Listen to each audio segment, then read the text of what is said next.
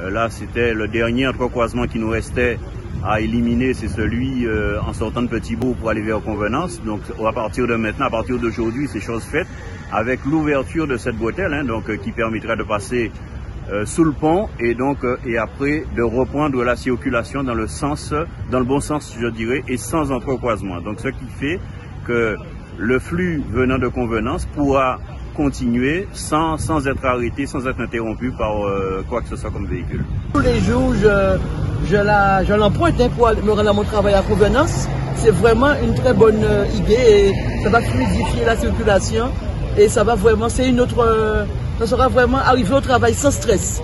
L'intersection là était très délicate et c'était pas toujours évident qu'on puisse nous laisser passer, nous qui sortions de Petit Bourg, pour aller sur convenance le matin ce matin je vois que ça, ça va bien. C'est une bonne chose. Bonne chose pour vous. Continuez à travailler.